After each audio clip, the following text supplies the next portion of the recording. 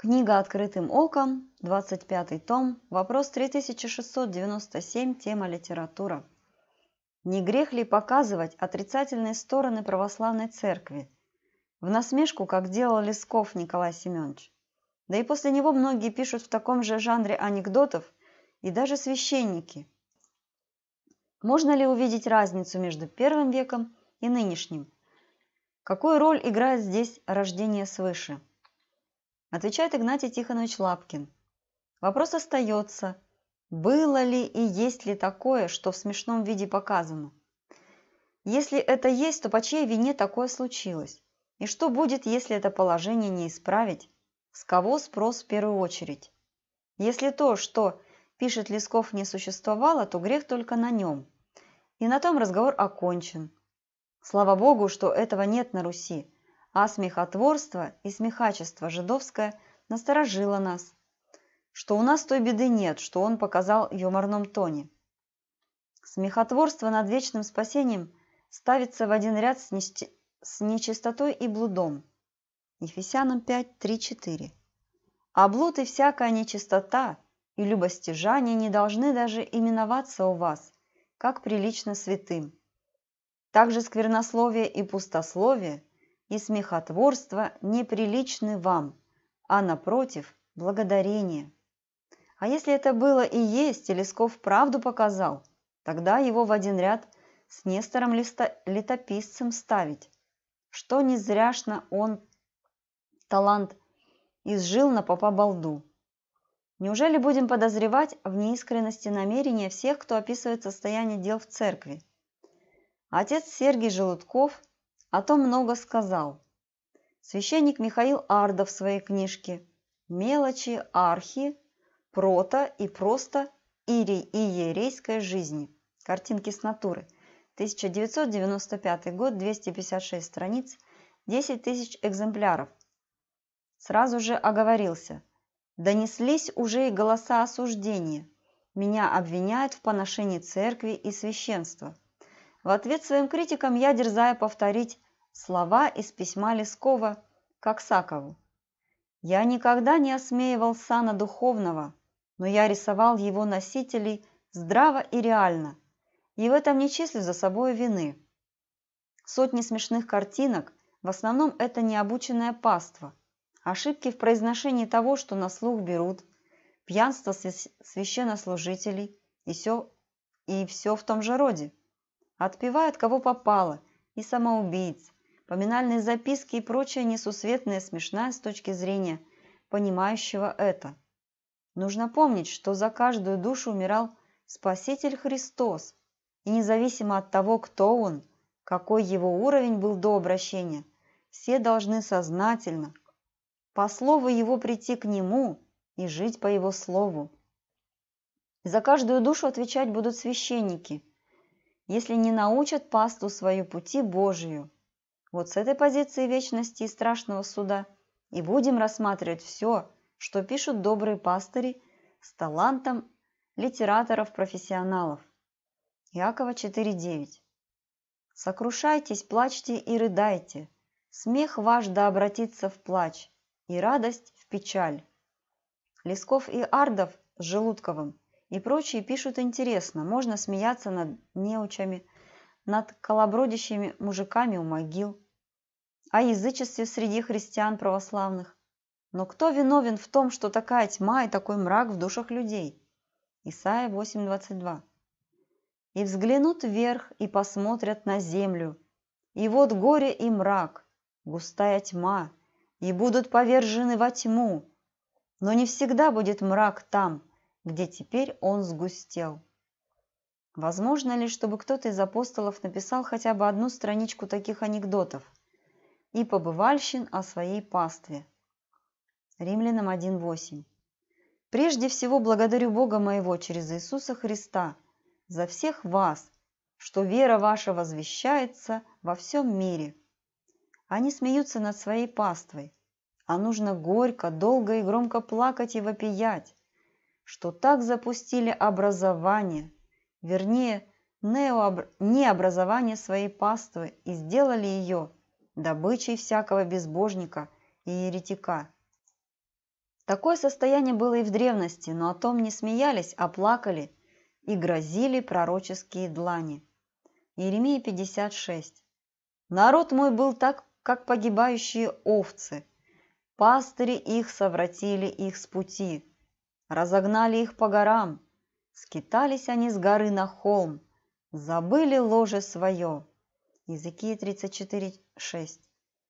«Блуждают овцы мои по всем горам и по всякому высокому холму, и по всему лицу земли рассеялись овцы мои, и никто не разведывает о них, и никто не ищет их. За каждую овцу будет строго взыскано с нерадивого пастыря». Языки 34.10.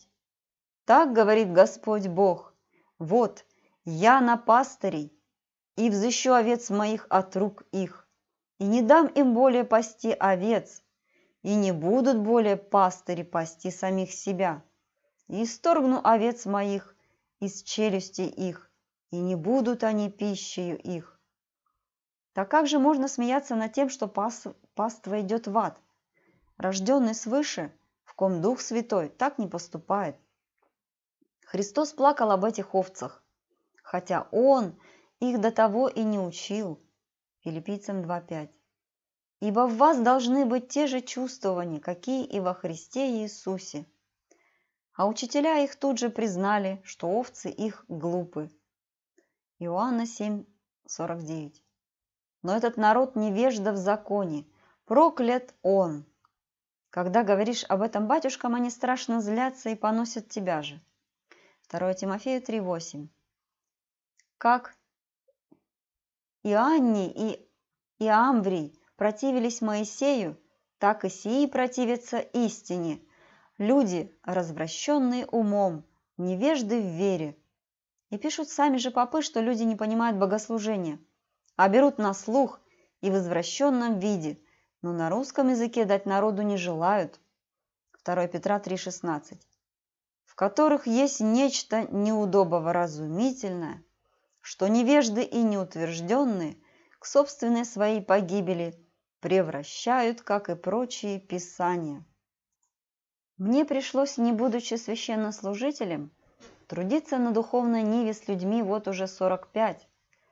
И могу на опыте показать, что все те, кого показывают Лесков, Желудков, Ардов, если с ними заниматься регулярно по изучению Библии, и чтобы они были в настоящей православной общине, эти люди все до одного решительно меняются. И к ним уже ни один анекдот не подойдет. Их жизнь делается сознательной во Христе.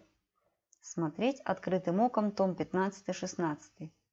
Не смеяться нужно над тупостью и невежеством коростовых овечек, а плакать над тупостью, жестокосердием и чванством пастырей лукавых и безбожных. Они же все в крови своих овец.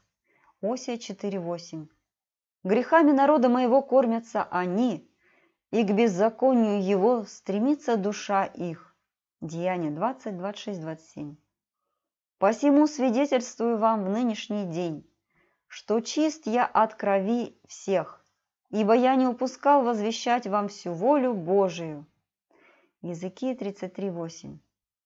Когда я скажу беззаконнику, беззаконник, ты смертью умрешь, а ты не будешь ничего говорить, чтобы предостеречь беззаконника от пути его, то беззаконник тот умрет за грех свой, но кровь его взыщу от руки твоей. Каждый священнослужитель должен быть пастырем и учителем. Мой отец Тихон 40 лет пас различный скот, и я все детство провел у стад на полях. Если даже одна захудалая овца потерялась или заболела, то сколько труда положено будет, чтобы поднять ее. Но если в болезни, в ненаученности, гибели виновен именно ты, за небрежностью и зубоскальством кроется гиена огненная, то хватит ли слез в океане, чтобы достойно оплакать любого попа и архиерея-деспота? Языки 34.2. Сын человеческий, из реки пророчества на пастыре Израилевых, из реки пророчества и скажи им, пастырям, так говорит Господь Бог, горе пастырям Израилевым, которые пасли самих себя. Не стадо ли должны пасти пастыри. Деяние 20, 29, 31. Ибо я знаю, что по отшествии моем войдут к вам лютые волки, не щадящие стада, и из вас самих восстанут люди, которые будут говорить превратно, дабы увлечь учеников за собою. Посему бодрствуйте, пометуя, что я три года день и ночь непрестанно со слезами учил каждого из вас. Апостол Духа Пресвятого исполняясь, пламенное слово толпе собравшейся вещал и с изумлением внимал ему народ страны Парфянской. Слова родного языка пришедшим странно слышать было от чужеземца-рыбака. Меж тем божественная сила его собою осенила, и речью смертною его им говорило божество. И Петр, Господней церкви камень, словами жгучими, как пламень, сердца народные зажег, апостол Божий и пророк. В речах могучих и суровых он о страданиях Христовых им говорил о чистоте, о смертной муке на кресте, о светлом чуде воскресения, о всепрощающей любви и света нового струи, источник нового учения, любви, добра и всепрощения, людских сердец проникли тьму, и слову дивному всему внимали люди в умилении. Н. Григорович